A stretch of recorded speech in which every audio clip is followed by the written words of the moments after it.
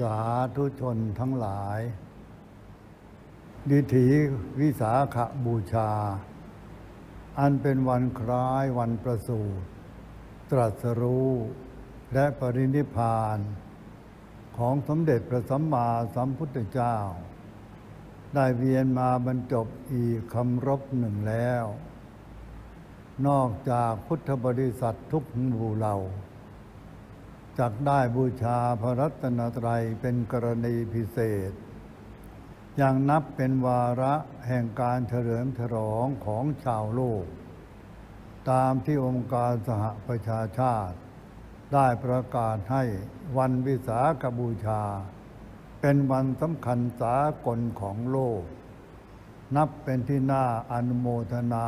อย่างยิ่ง เมื่อพิจารณาข่าวสารของโลกเราทุกวันนี้ หลายคนอาจรู้สึกว่า ในปัจจุบัน มีข่าวที่ไม่น่าพึงใจมากขึ้นทุกที บางเรื่องก็เป็นที่น่าสลดหดหู่บางเรื่องก็เป็นที่น่าหวาดหวัน่น บางเรื่องก็เป็นที่น่าขุนเคืองใจ จนคนบางคนกลายเป็นคนตื่นข่าว เป็นคนระทมอมทุกข์ หรือตกอยู่ในภาวะเครียด หรือซึมเศร้าไปบ้างก็มี สมเด็จพระสัมมาสัมพุทธเจ้า ทรงพระมหากรุณาสั่งสอนให้เราทั้งหลายเป็นผู้ตื่นรู้ เป็นผู้พ้นจากความหลับไหล เป็นผู้สามารถรู้เท่าทันจิตใจของตนเองอยู่ตลอดเวลา ความรู้เท่าทันดังกล่าวนี้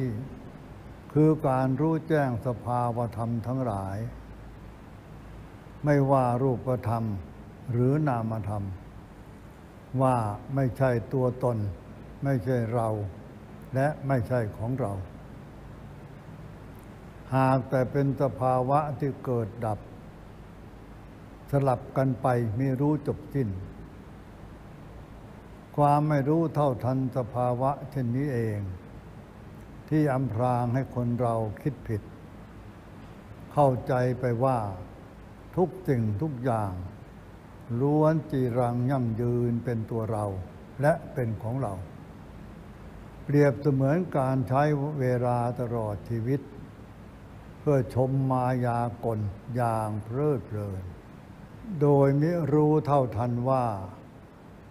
ภาพอันดำเนินต่อเนื่องอยู่เหล่านั้น เป็นเพียงมายาที่ดวงตาทั้งสิ้น แต่ถ้าเมื่อใด บุคคลมีความรู้แจ้งในสภาพทุกข์ สภาพความเปลี่ยนแปลง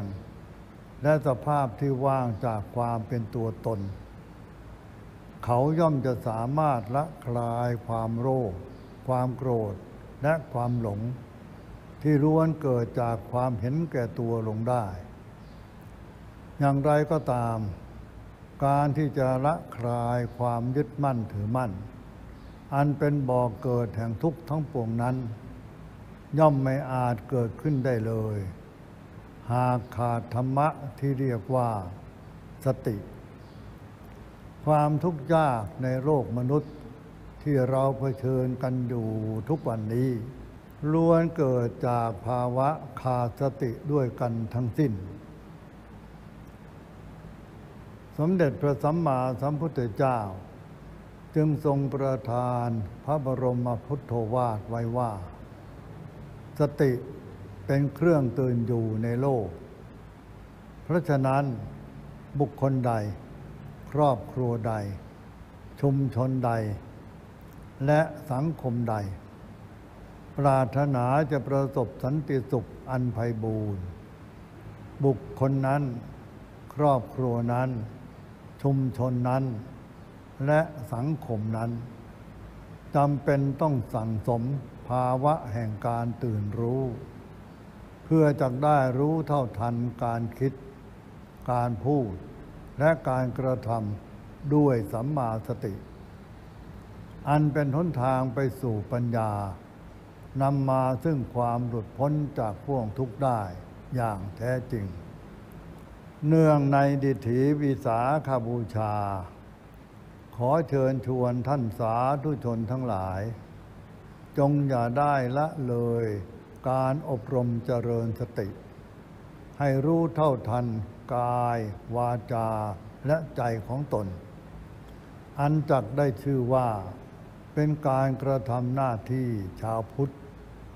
ได้ประพฤติตามหลักปฏิปัติบูชา ที่พระพุทธองค์ทรงสรรเสริญ และเป็นการสืบอายุพระพุทธศาสนา ให้ยั่งยืนอยู่คู่ สืบไป ตราบกาลนาน ขอเจริญพร